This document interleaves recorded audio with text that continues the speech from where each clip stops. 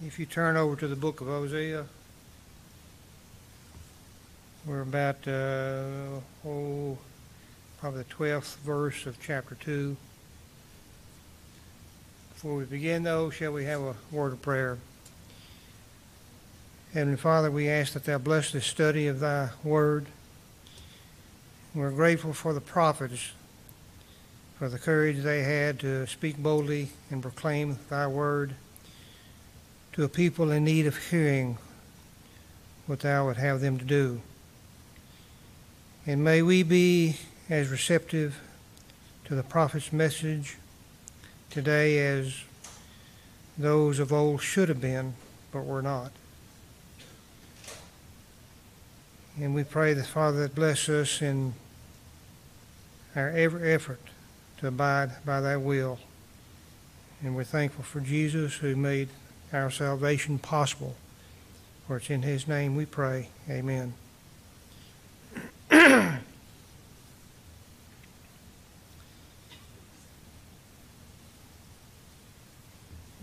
know, we, uh, of course, studying the uh, minor prophets, and they're, they're called minor not because the message is unimportant or less important than what we term the major prophets, just a matter of the length of the uh, books.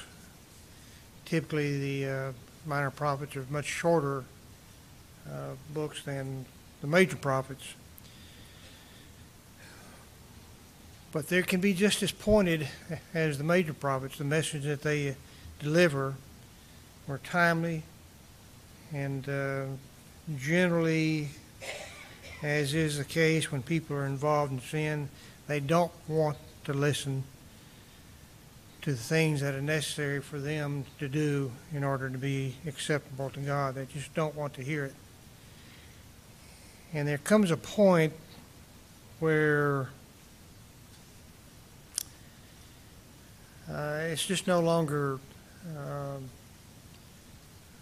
practicable or uh, useful to continue to appeal to someone who does not want to hear the truth. They've demonstrated they don't want to hear it.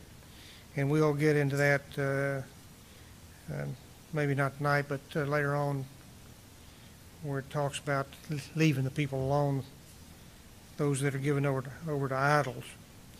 And we see this repeated in the New Testament. Even Jesus himself, when people demonstrated that they had no interest in the truth, he let them go. He did not run after them. So I think that's a valuable lesson for us today. But here we have uh, Hosea uh, speaking to the, uh, primarily, not entirely, but primarily to the people of Israel. A lot of times when he's speaking to the nation, they'll refer, he'll refer to it as Ephraim. Ephraim was the, uh, I guess, the chief tribe of Israel, but so sometimes it just stands for the uh, whole of Israel. But he also uh, talks to Judah also. But anyway, he he's already said here in uh, verse uh, 11 or or the little previous section here, uh, the punishment that's going to uh, come to them. He's going to uncover and keep in mind when we're talking about uh, uh, Hosea and uh, Gomer's wife and the children, we're really talking about the nation of Israel. You always have to keep that in mind when you're talking about uh, Gomer being a uh, wife committed to great harlotry. He's talking about the nation of Israel. Their harlotry was, of course, uh, they uh, worship idols.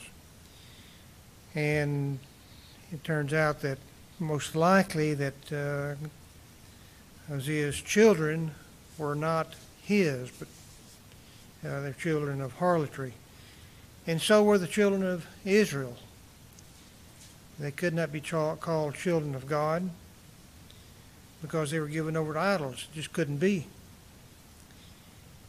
And so he is declaring to them there's going to be uh, destruction coming their way. He, he says in verse 9, chapter 2, I'm going to take away the grain, and it's time, their new wine. Uh, take back the wool, the linen that was given to cover her nakedness. And I will uncover her lewdness in the sight of her lovers. And we- we're talking about idols. And no one should deliver her from my hand. Punishment is going to happen. Sin requires punishment. It's, it is never ignored. He said in verse 10, uh, No one shall deliver her from my hand. Destruction is going to come. And he's going to cause some earth to cease, feast days. They were given over to a lot of feast days, new moons, and Sabbaths. They were engaged in uh, religious exercise, but it was all vain religion. It was not accepted. And whatever mirth that they enjoyed, it was going to cease. When punishment comes, it's going to cease. And he says in verse 12, 12, I would destroy her vines and her fig trees. Now, these were important symbols in Israel. Uh, sometimes it talks about uh, sitting by your, your vines and fig trees. That's, that's a uh, symbol of peace. Of which she has said, These are my rewards that my lovers have given me, the idols. That's the rewards that the, her idols have given them. But the Lord says, I'm a, or the prophet says, I'm going to make them a forest. Now, you think about some of these forests as you drive up and down, say 59, and, and you think how impenetrable, impenetrable, you can't get through them, in other words, uh, those forests are. And in terms of growing crops or uh, grapes or figs or anything like that, that's pretty much useless. Uh, I'll make them a forest, and the beasts of the field shall eat them. Whatever they produce, the, the beasts are going to eat them. You're not going to get any. She decked her, uh, and it says, I will punish her, verse 13, I will punish her for the days of the Baals to which she burned incense. Now, all these things were introduced uh, primarily with uh, Jeroboam and Ahab. Baal, that word just simply means Lord. Uh, and they were ascribing to an inanimate, object uh, lordship. Baal couldn't do anything. And they uh, burned incense to Baal. They decked herself out with her earrings and jewelry and went after her lovers. Then she forgot me, says the Lord. Not only did she engage in idol worship, but she forgot the Lord also. When we're talking about she, we're talking about the nation of Israel. She also forgot uh, the Lord. And it says in verse uh, 14, Therefore, behold, I will allure her, will bring her back into the wilderness. Now, now this wilderness is not, uh, in this particular instance, if you think about uh, Israel's deliverance from Egypt, they were, they traveled into the wilderness. That was their deliverance. So he's talking about deliverance here. I will bring, bring her into the wilderness and speak comfort to her. I will give her her vineyards from there. And the uh, valley of Achor is a door of hope. Uh, Achor was where uh, Achan was uh, uh, did his thing, you know. Uh, but that's going to be a door of hope for these people. She shall sing there as in the days of her youth, as in the day when she came up from the land of Egypt, when she was delivered, when she achieved salvation from the Egyptians. It's going to be like that. And it shall be in that day, in verse 16 says the Lord, that you will call me my husband and no longer call me my master. The, the word for my, my master is Baal. And uh, the word for my husband is, if I pronounce it right, Ali, something like that. you can look it up. but he's going to, uh, the husband was a much more intimate uh, relationship than my master. If he'd used the word my master, he would sort of equate it with the Baal worship, and he didn't want that. For I will take from her mouth the names of the Baals, masters. And they're not going to speak to that any, any longer. And, and they shall be remembered by their name no more. And that uh, day I will make a covenant for them uh, with the beasts of the field, and birds of the air, and the creeping things, ground, bow and sword and battle, I shall shatter from the earth and make them uh, lie down safely. Now, this uh, this beating plowshares and, or swords into plowshare that that uh, imagery has been used before, he's really talking about a, a time of uh, peace. Well, he's already made a covenant with them, so what covenant is he talking about? Well, there's going to be a new covenant uh, with the, these people. It's not going to be the old covenant. He's looking forward to a, a time of a, spiritual covenant with them and it's going to be uh, now that doesn't mean that you know once this new covenant comes in there's going to be peace around the world. That's just not going to happen. It never has happened. People have always been at war. But for those in the spiritual kingdom there is a peace there. There is no longer the battle with sin that's been overcome. Verse 19 says i betroth uh, you to me forever i will betroth you to me in righteousness and justice. And it's got to be in this. There's four um, five things really that are mentioned here. I will betroth you to me in righteousness and justice. They've got to go together. You can't have righteousness without justice, and you can't have justice without righteousness. In loving, loving kindness, that's for one another and for the Lord Himself, and mercy, uh, being considerate of others in their weaknesses. And I will betroth you to me in faithfulness. Well, God is always faithful. What He says will happen. What promises He makes, He'll keep. And so we must have the same sort of faithfulness towards Him if we want to be uh, acceptable to Him. And if you do these things, you shall know the Lord. And the fact of the matter is, you cannot know the Lord if you don't do these things. It is impossibility. You may say that you do, but uh, that's just not the case. It shall come to pass in that day that I will answer, says the Lord. I, I will answer the heavens, and they shall answer the earth. The earth sh- shall answer with grain and new wine and oil, and they shall uh, answer Jezreel. Now, keep in mind that Jezreel was one of the uh, children. And the first Jezreel that was mentioned, it, it, can mean either God will scatter or, or God will sow. Now, you may think, well, uh, in times, old times, when they sowed, they actually scattered, but they're really used in a different sense.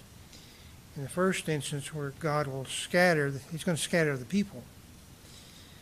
Uh, but when this new covenant comes about, he's going to sow them anew. They're going to be uh, uh, sown for himself.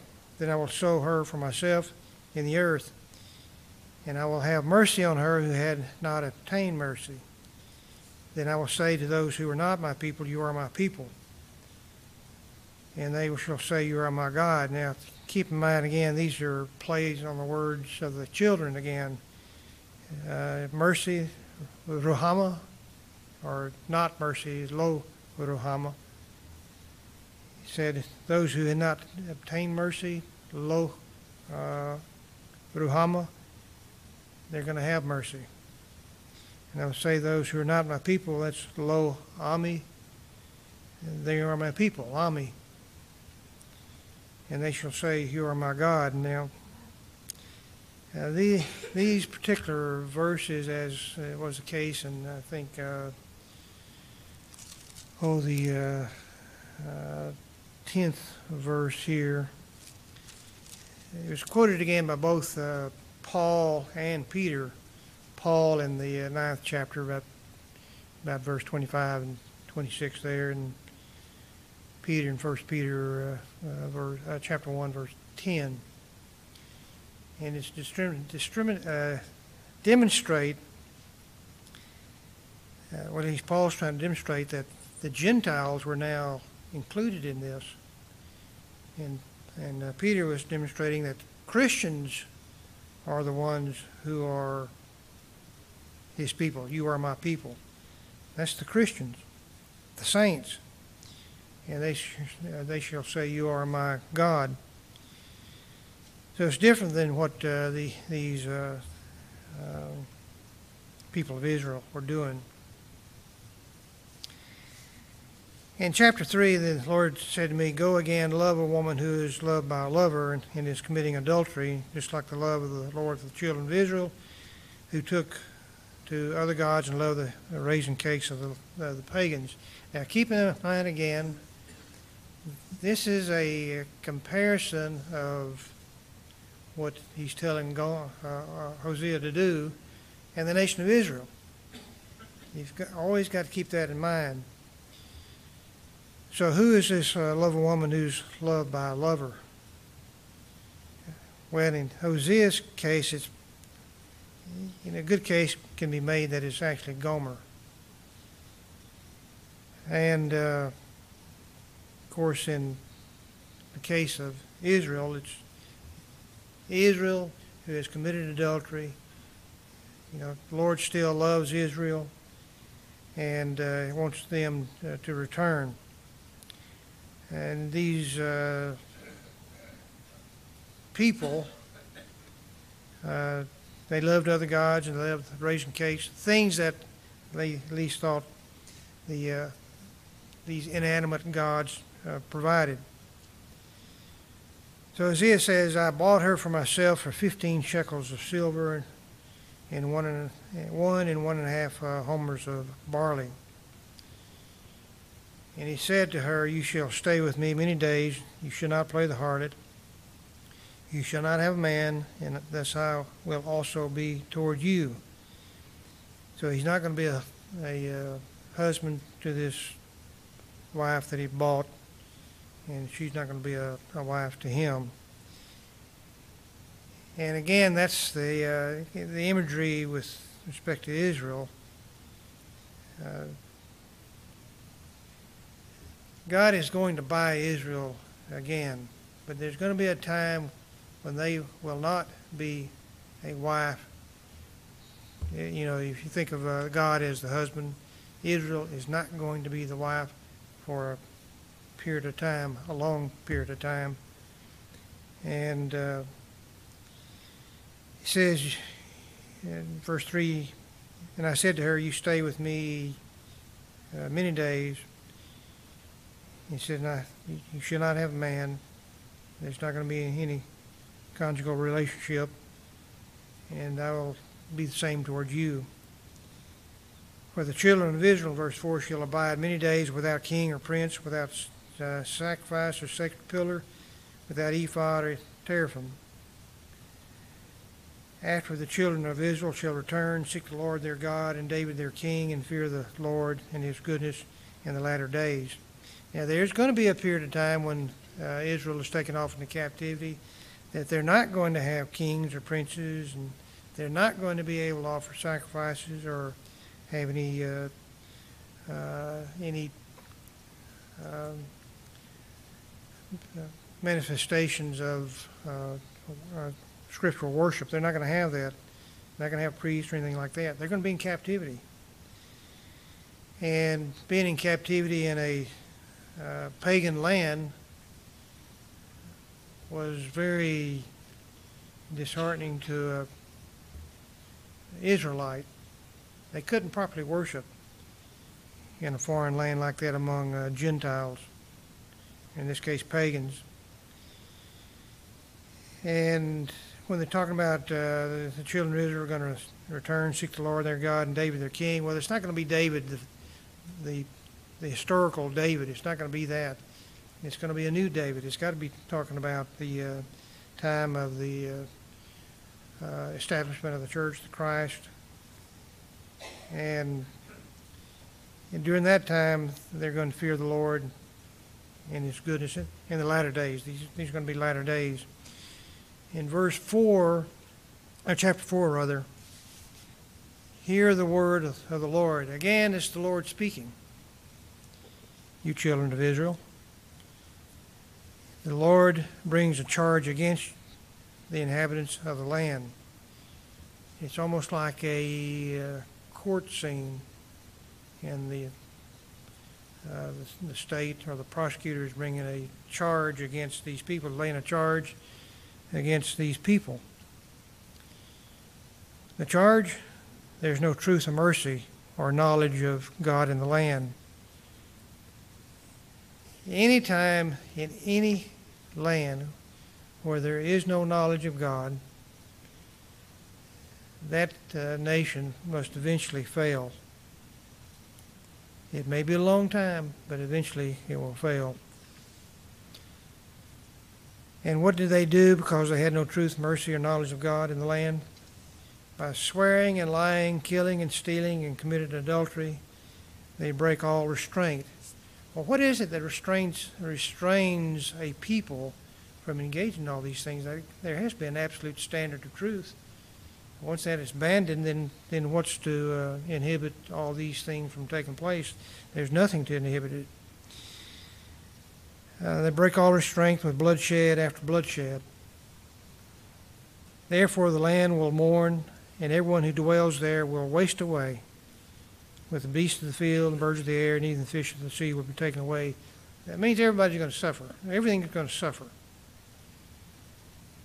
Now, in verse 4 it says, Let no man, contend or reprove. There's no use for a man to contend or reprove because this is going to happen. It's past the point of no return. For your people are like those who contend with the priest. Now, the priests were the, supposedly the uh, uh, proclaimers of the law, the, the, keepers of the law, make sure the people uh, obey the law and so forth. So when you're contending with a priest, you're actually contending with the law itself. Therefore you shall stumble in the day. The prophet shall stumble with you in the night. So both the uh, priest and the prophet are, both going to stumble because they, they uh, uh, they have abandoned God. They have no knowledge of Him. He says, uh, and I will destroy your mother. Now, think of mother here in the context of the nation of Israel. If you think of Israel as the mother, I will destroy your mother. That's the one who provides all the the good things, you know. Of course, we have a mother today, don't we, that provides all the good things. He says, My people are destroyed for lack of knowledge. And you have to have knowledge in order to be faithful. You cannot be faithful in the absence of knowledge. My people are destroyed for lack of knowledge because you have rejected knowledge. I will also reject you from being priest for me. So he's speaking primarily to the priests. They're the ones that uh, in theory anyway, that they had the knowledge of the law. And they should have been preaching that law, be sure that the people complied with that the law. Um, but they didn't have the knowledge of it. And because they uh, did not have knowledge of it, and when they did hear it, like from Hosea, they rejected it, then therefore the Lord is going to reject them from being priests for me. They may still hold, in secular terms, they may still hold the office of priest, but in terms of what God approves, they are no longer priests. Because I will reject you from being priests, because you have forgotten the law of your God. Then, you know, the, the consequence is I will also forget your children. Well, what children of the priest were those that they taught. And that's the people of the nation of Israel. The more they increased, the more they sinned against me, and I will change their glory into shame. Now, there's some question about uh, who is it that increasing here? Is it the priests or the, the children, the people? Well, it doesn't uh, really matter, I suppose, Uh, if you increase the people, you got to increase the priest. And the only reason the priest increase is because there's an increase in the people. So, it, you know, take your pick. Uh, the, the more they increase, the more they sinned against me. And you have to think that probably they're talking about the priest because uh, the more people sin, they have to offer sacrifice for their sins. And who gets a cut of the sacrifice? It's the priest. So they, uh, they want the people to sin, so they have to make a sacrifice for it, so they get a cut of it. They're lining their own pocket. The more they increase, the more they sin against me, and I will change their glory into shame. It should be a glorious thing to be a priest, but it's going to be, it's going to be turned into shame. They eat up the sin of my people. They, like that. They set their heart on their iniquity, and it shall be like people, like priests. So I will punish them for their ways. So they're all going to be punished. And re- reward them for their deeds. Deeds bear a reward. I don't care what kind of deed it is, it bears a reward. If it's an evil deed, it's going to bear an evil reward. And if it's a uh, good and wholesome and righteous deed, it's going to uh, bear that kind of reward. For though they shall eat, uh, but not have enough, they shall commit harlotry, but they're not going to increase because they have ceased obeying the Lord. So it's essential that uh, there be obedience in order to enjoy these other uh, things. Harlotry, wine, new wine, enslave the heart. Anything that operates in contradistinction to the Word of God, it enslaves the heart. Verse 12 is my people ask counsel from their wooden idols, and their staff informs them. You might uh, recall, uh, you know, the witchcraft or what have you. Soothsayers, you know, they would uh, all take, it takes all sorts of uh, manifestation, but in this particular case, you know, they have a rod and they're trying to divine something, you know, trying to determine what's going to happen to this, and they let the rod fall, and depends what direction it falls, they would have some sort of interpretation of that. Not that they hadn't already decided what it's going to be, but anyway, that's that's what they're talking about.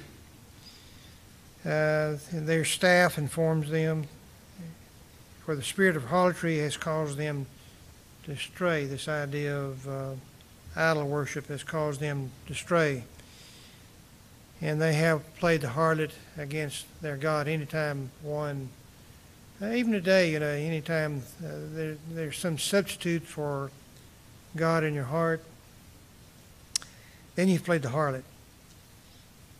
They offer sacrifices on the mountaintops and burn incense on the hills. A lot, a lot of times it's pagan worship, what happened on, on mountaintops under uh, hills and what high places under oaks, poplars, and terebinth trees because their shade is good.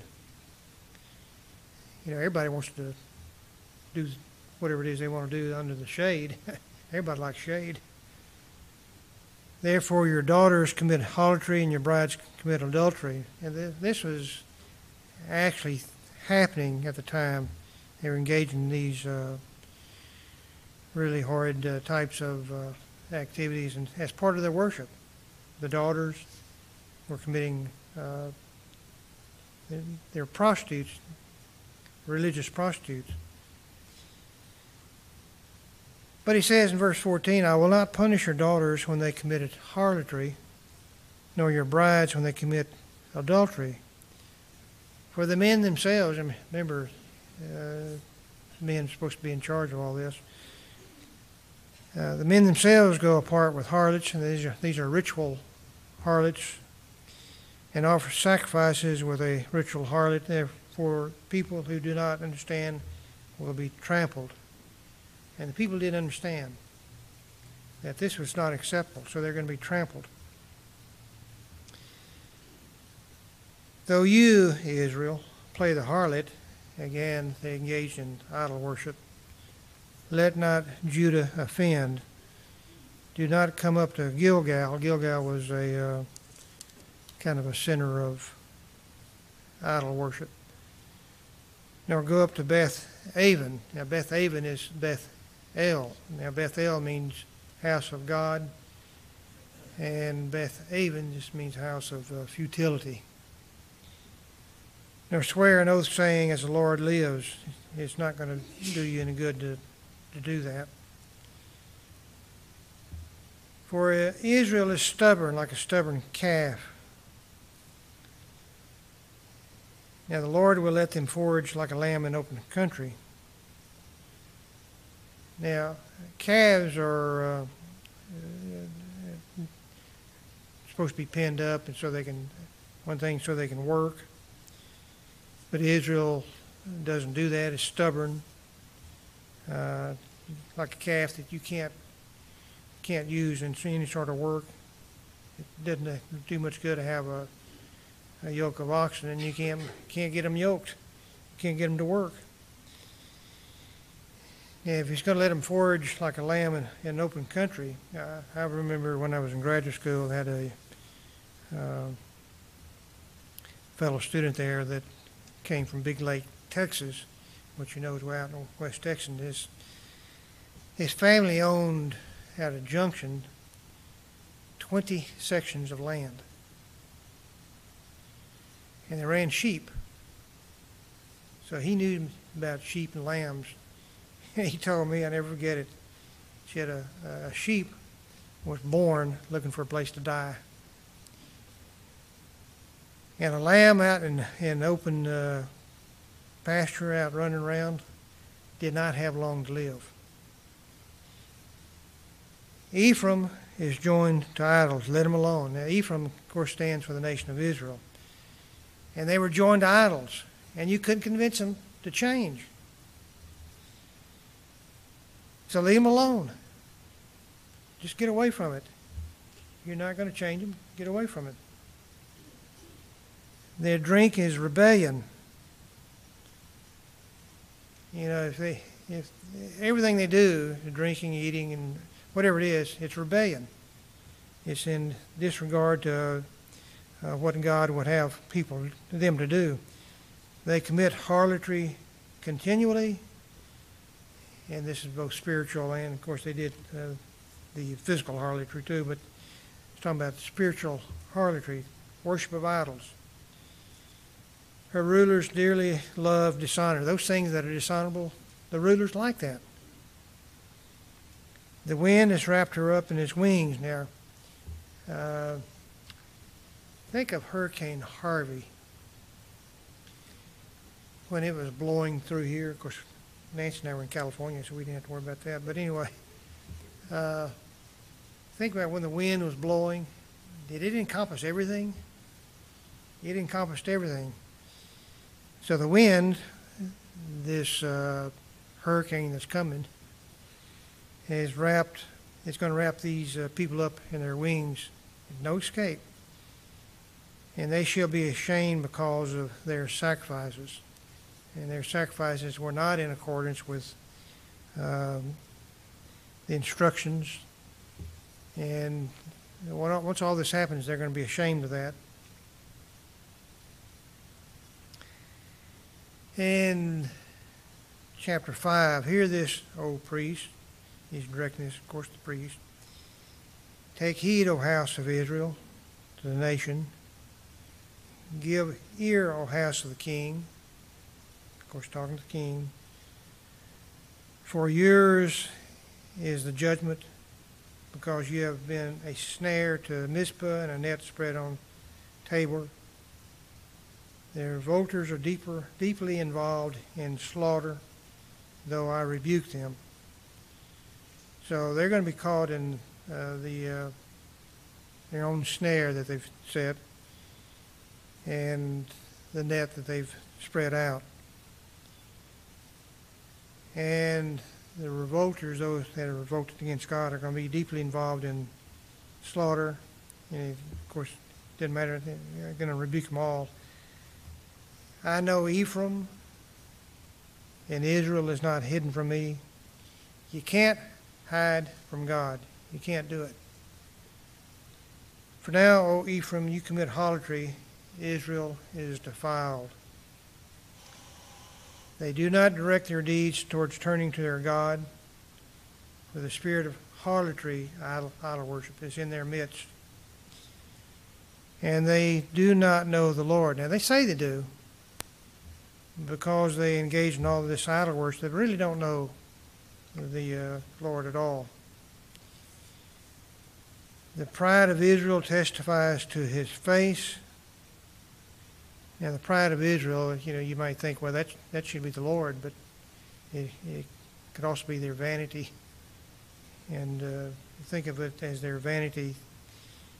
They testify to his face, therefore Israel and Ephraim stumble in their iniquity and uh, Judah also stumbles with them. Now, Israel, of course, is the nation of Israel. Ephraim is the largest tribe of Israel. And in Judah, of course, is the nation, the southern kingdom. They're all going to stumble together. With their flocks and herds, they shall go and seek the Lord, but they shall not find him. It's not because he's not there, it's because the way that they're seeking. They're trying to do it on their own terms. He has withdrawn himself from them. They have dealt treacherously with the Lord, and they have, for they have begotten pagan children. They've, their children are as much involved in idol worship as they are. Now, new moon shall devour them and their heritage blow the ram's horn in Gibeah. Uh, ram horn is always uh, a symbol of something important is going to happen, or calling people to a conference and so forth. And the, the trumpet in Ramah, cry aloud at Beth Aven. Again, that's a house of uh, futility. Look behind you, O Benjamin. Ephraim shall be desolate in the day of rebuke among the tribes of Israel, I make known what is sure. And this is an important lesson that uh, the Lord always warns ahead of time. And when he's he's talking really here about the, the destruction that's going to come from uh, Assyria, and it's going to later on say that it is Assyria that's going to do it. Um, when he says, "Look behind you, Benjamin," Well, well, Benjamin's in the southern kingdom. It's not part of Israel.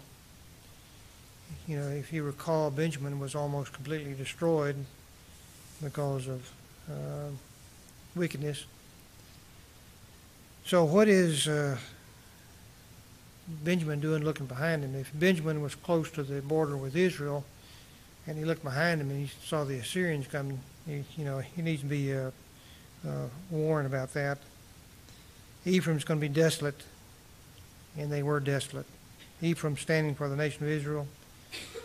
Uh, it's going to be desolate in the day of rebuke. The rebuke's coming.